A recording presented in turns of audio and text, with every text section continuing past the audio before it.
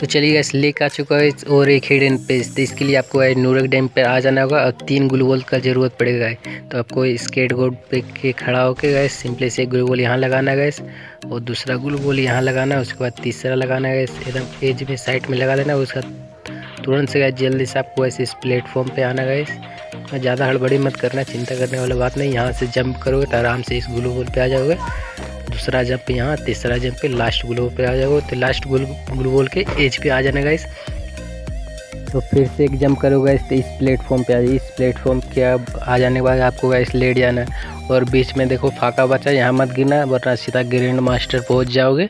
से बीच में गिरना मत ग्रैंड मास्टर पहुँच जाएगा आराम से यहाँ से भाई रिंग पुश कर सकते हो इजी पे किल भी ले सकते हो भाई। आराम से इजी पे किल भी ले सकते हो, आराम से अपना रिंग पुश सकते हो। कैसा लगा वीडियो वीडियो अच्छा लगेगा जल्दी से कर दो लाइक शेयर एंड सब्सक्राइब और चैनल पर फ़र्स्ट बार है भाई सब्सक्राइब तो कर ही दो। तो थैंक्स